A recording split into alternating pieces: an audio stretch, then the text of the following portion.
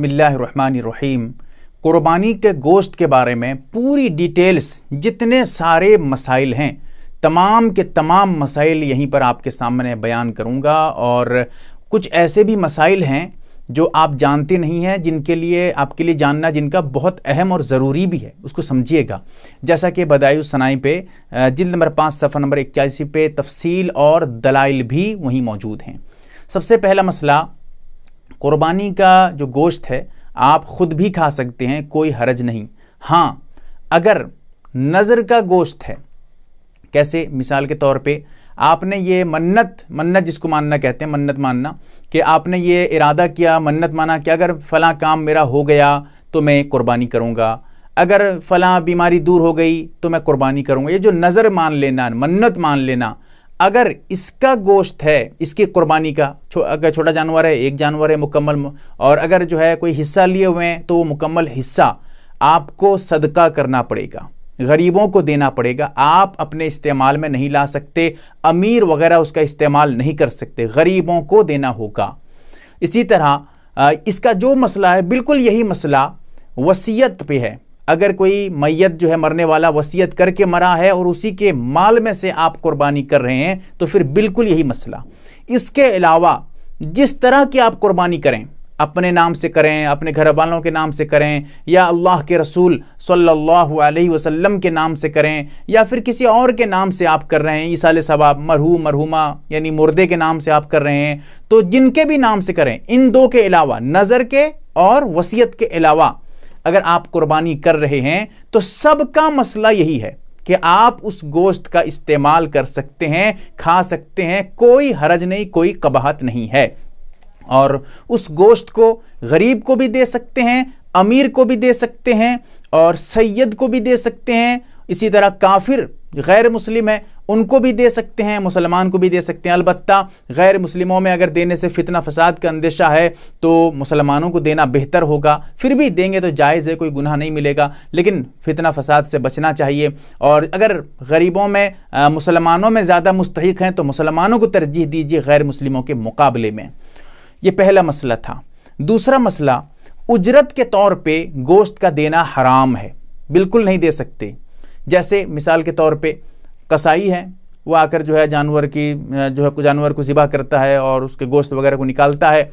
اب اس میں جو کچھ پیسے مقرر کرتا ہے کہ میں پانچ سو روپے لوں گا یا ہزار روپے لوں گا، اب اس میں سے آپ کیا کرتے ہیں کہ پانچ سو روپے کا گوشت دیتے ہیں اور پانچ سو روپے کا کہتے ہیں کہ ہزار روپے بات ہوئی تھی، پانچ سو روپے لے لیجیے، پانچ سو روپے گوشت لے لیجیے۔ وہ جو پانچ سو روپے آپ گوشت بطور اجرت کے دے رہے ہیں، بالکل حرام، نہیں چل سکتا۔ پانچ سو روپے اسے دیجیے گوشت کا یا اگر آپ اسے ہزار روپے نہیں دے رہے ہیں، پانچ سو روپے گوشت کے بدلے میں دے رہے ہیں، تو ایسی صورت میں آپ جو گوشت ہے، جتنے روپے کا آپ دیے ہوئے ہیں، اتنے روپے پھر سے صدقہ کریے۔ بالکل ناجائز ہے۔ اسی طرح تنخواہ کے طور پہ آپ کے بچے کو کوئی جو ہے پڑھاتا ہے، مثال کے طور پہ مولانا صاحب، حافظ صاحب پڑھاتے ہیں مسجد وغیرہ میں، آپ ان کو تنخواہ کے طور پہ دے رہے ہیں۔ یا پھر اسی طرح مسجد کے امام ہیں، آپ ان کو گوشت جو ہے تنخواہ کے طور پہ دے رہے ہیں کہ دو کلو گوشت دے رہا ہوں۔ اب پیسہ نہیں دوں گا، آپ کو اس مہینے کا اتنا روپے کاٹ دوں گا۔ تنخواہ اگر خوشی سے ہے، کوئی بات نہیں۔ آپ کسائی کو بھی دے سکتے ہیں، حافظ صاحب مسجد کے امام کو بھی دے سکتے ہیں، کوئی حرج نہیں، خوشی میں۔ بغیر کچھ لیے دیے، بغیر کسی اجرت کے، بغیر تنخواہ کے اگر دے رہے ہیں، کوئی حرج نہیں۔ تنخواہ کے دیں گے یا اجرت کے طور پہ دیں گے، کسی عوض میں دیں گے، تو ناجائز ہے، بالکل جائز نہیں ہے۔ اور تیسرا مسئلہ، تقسیم کیسے کریں گے؟ دیکھیے، تقسیم میں اگر بڑا ایک جانور ہے تو یہ اکیلا ہے، آدمی تقسیم کسی طرح بھی کر دے تقسیم کیا کرے گا، اس کو تین حصہ کرے گا، آگے بتاؤں گا میں۔ لیکن اگر بڑا جانور ہے، جن میں سات حصے ہوتے ہیں، سب اسی فیملی کے رہنے والے ہیں، سب مل جل کے رہتے ہیں، کھاتے پیتے ہیں، سب راضی ہیں، سب کہتے ہیں کہ بھائی، اب تول تول کر وزن کیا کریں گے؟ تول کر، چلو اندازے سے آپ تقسیم کر دو۔ ٹھیک ہے، کوئی حرج نہیں، وہاں پر آپ اندازے سے تقسیم کر سکتے ہیں۔ لیکن جہاں پر کوئی ایک بھی آدمی راضی نہ ہو۔ کہے کہ بھائی میں تو اپنا حصہ بالکل جتنا بیٹھتا ہے اتنا ہی لوں گا، چھوڑوں گا نہیں۔ کوئی راضی نہ ہو حصے داروں میں سے، تو پھر تمام حصوں کو الگ الگ کرنا ضروری ہوگا تاکہ اس کا حصہ نکل سکے اور وہاں پر جو آپ الگ کریں گے، اب آپ اندازے سے نہیں کر سکتے۔ جو سات حصہ نکالیں گے، اندازہ نہیں چلے گا۔ ذرا سے کمی زیادتی ہو جائے تو سب سود میں ہے، جائے گا اور سب حرام ہے، گناہ ملے گا۔ گوشت تو حلال رہے گا، لیکن سودی سودی کاروبار جیسے ہوتا ہے، حرام ہے، گناہ ملتا ہے، ویسے ہی آپ سودی کاروبار کرنے میں پکڑے جائیں گے۔ لہٰذا گوشت کو اس وقت جو آپ تقسیم کریں گے، تول تول کر، بالکل کانٹا حساب سے لگا کر، تول تول کر حساب کریں گے، جتنا آپ سے ہو سکتا ہے۔ اندازے سے تقسیم نہیں چلے گا۔ اندازے سے جب آپ جوائنٹ فیملی ہو یا پھر الگ الگ آدمی شریک تھے، سب کہتے ہیں کہ بھائی ہم مل کر کوئی بات نہیں، سب اپنے اپنے خوش دلی سے کہتے ہیں، ہم راضی ہیں بھائی، تقسیم اندازے سے کر دو، کوئی بات نہیں۔ ہاں البتہ اگر سب الگ الگ آدمی ہیں تو مناسب ہے کہ آپ تول کر حساب کر دیجیے تاکہ ظاہری طور پہ تو کہہ رہے ہیں آپ اندر کیا ہم کو کیا پتہ، اسی لیے وہ بھی یقینی طور پہ ہو جائے۔ یہ تو تقسیم کی بات تھی۔ ایک چیز اور سمجھیے گا کہ پورے گوشت کو سب جب راضی ہو جاتے ہیں کہ ہاں ہم تقسیم جو ہے اس طرح کر دیں گے کہ بھائی الگ الگ کرنے کی ضرورت نہیں ہے۔ اب ایسی صورت میں سب اگر راضی ہیں تو تمام گوشت کو تین حصہ کریں گے۔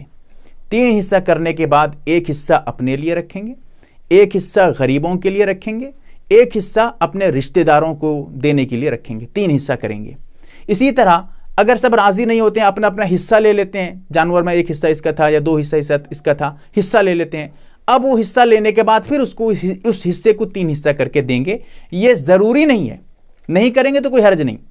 لیکن بہتر اور مناسب ہے تاکہ سب کا خیال رکھا جا سکے۔ ایک چیز اور سمجھیے گا۔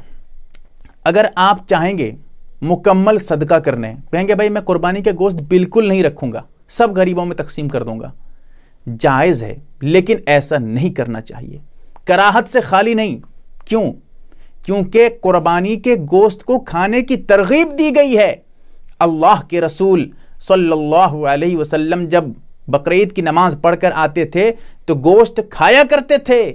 اسی طرح یہ بھی کہا گیا ہے کہ بھوکے رہو، آنے کے بعد کھایا کرو گوشت کو تاکہ رغبت ہو سکے۔ اور یہ بھی حدیث میں آیا ہے کہ وہ دن اللہ کی ضیافت کا دن ہے۔ اللہ تعالیٰ تمہاری مہمان نوازی کرتا ہے۔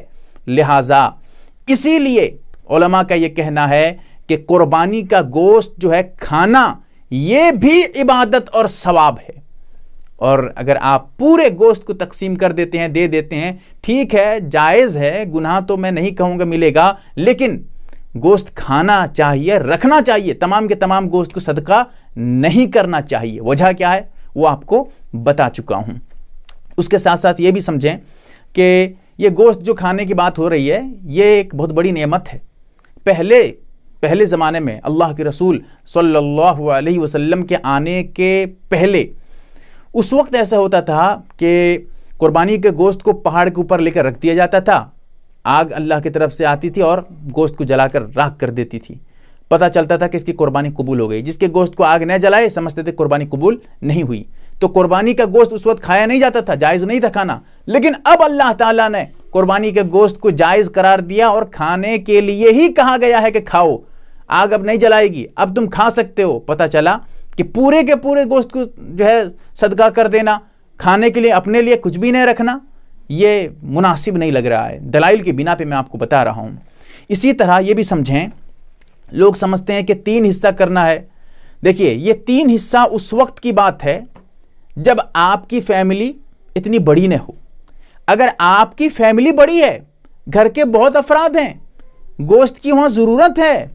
تو ایسی صورت میں آپ کے لیے مناسب اور بہتر ہوگا کہ آپ تین حصہ مت کریے۔ تمام کے تمام گوشت کو رکھ لیجیے اور کھائیے، اپنے گھر والوں کو کھلائیے۔ اگر ضرورت ہے، اگر چھوٹی فیملی ہے یا ضرورت اتنی زیادہ نہیں ہے، تو آپ اس کو تین حصہ کر کے ایسے تقسیم کریے۔ اس میں بھی لوگ دھوکہ کھاتے ہیں۔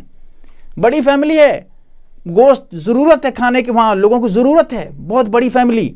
اب وہ کیا کرتے ہیں، تین حصہ کر کے وہاں دیتے ہیں۔ اب گھر میں اتنے ہی گوشت بچا۔ اب دو چار آدمی کھاتے ہیں تو گوشت ہی ختم ہو گیا۔ اب کہاں گیا بھائی گوشت؟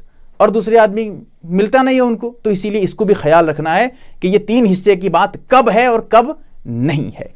اس کو سمجھنے کی بات ہے۔ میں نے قربانی کے بارے میں بہت تفصیل کے ساتھ بہت ضروری مسائل آپ کے سامنے رکھا ہے، دوسروں تک پہنچائیں۔ اللہ تعالی ہمیں سمجھنے کی توفیق یم اے آر بی دینی معلومات چینل کو سبسکرائب کریں اور گھنٹی والے نشان کو ضرور دبائیں تاکہ ہماری ہر نئی ویڈیو آپ تک پہنچتی رہے۔ ویڈیو کو لائک اور شیئر ضرور کریں اور ہماری ہر ویڈیو آپ اپنے چینل میں ڈال سکتے ہیں۔ نیز ہمارے ساتھ واٹس ایپ پر جڑنے کے لیے آپ اپنا نام اور مکمل ایڈریس کے ساتھ ایڈ لکھ کر میرے WhatsApp number eight nine zero eight nine three nine three four three کو میسج کریں۔